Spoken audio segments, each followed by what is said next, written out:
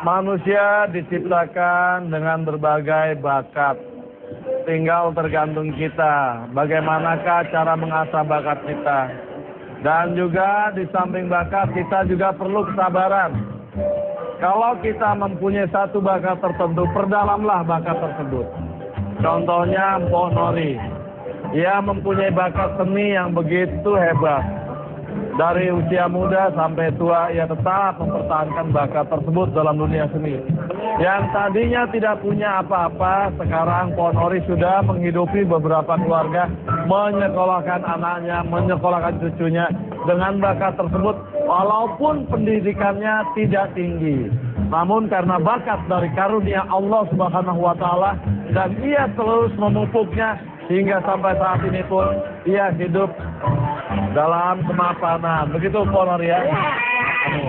Ponori. Ya. Sebelum Ponori dikenal oleh masyarakat luas, katanya Ponori hidup dalam kesusahan. ya. Nah, ceritakan kesusahan tersebut apa dalam uh, ceritanya apa ini? Kesusahan dulu, Kesehari-hariannya. zaman langka beras, nggak makan. Ah. Kita meminta langsung. Sama Sampai dia ada dari pemerintah. Ah, Saya ah. langsung sama ikan di bawah karung. uh,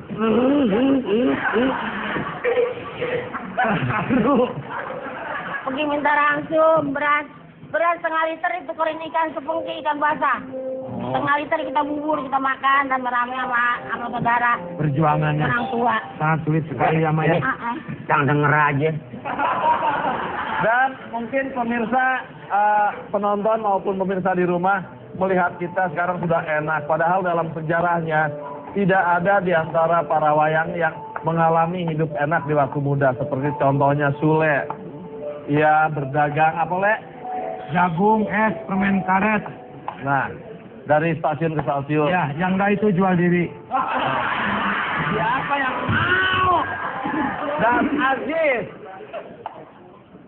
Waktu masih mudanya Jis, waktu masih Jangan pakai susahnya. dengerin, kagak denger mah.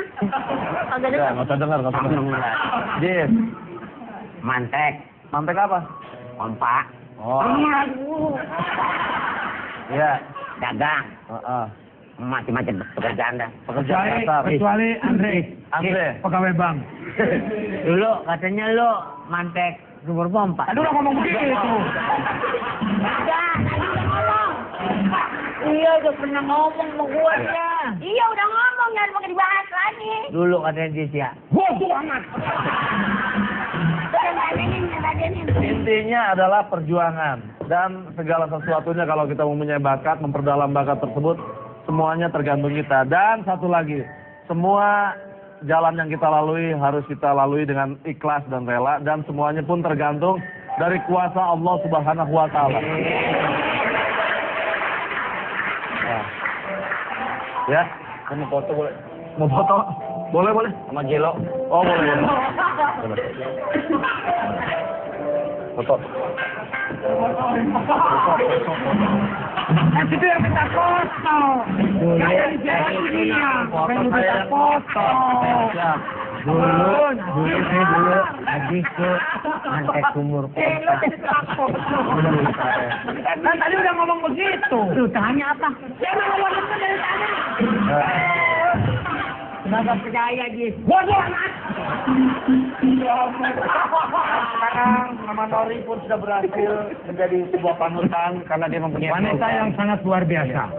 Mama Nori. Kau wanita luar biasa.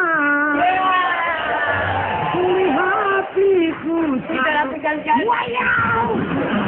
Kali. Bukan. Ya, kata Wanita luar biasa. Nih gua kalau punya doa petir, gua minta doa petir. Gua. Untuk generasi muda ya. Jangan hanya mengandalkan ilmu yang sudah didapat. Kita juga harus Ya, mempunyai biasa. satu talenta dan punya satu keahlian untuk menghadapi menyongsong masa depan. Amin. Amin. Kalau Anda tidak mempunyai talenta seperti kita, Anda mempunyai bakat untuk uh, kursus komputer. Isilah hidup Anda dengan satu keahlian yang akan Anda pergunakan untuk menata masa depan. Ariel hebat Ariel ya.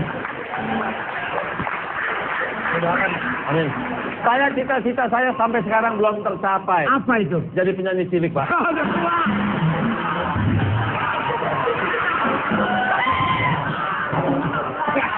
Orang udah tua. Di sana gunung. Jadi insinyur. Itu udahlah. Eh, di siapa tuh? Untung gua bisa santet. Di sana gunung, di sini gunung. Di tengah-tengahnya ada pohon kenari.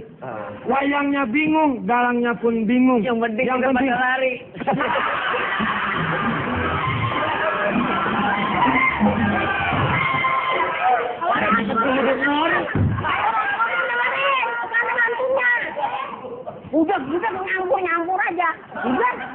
Untung gua nggak bawa tumbak.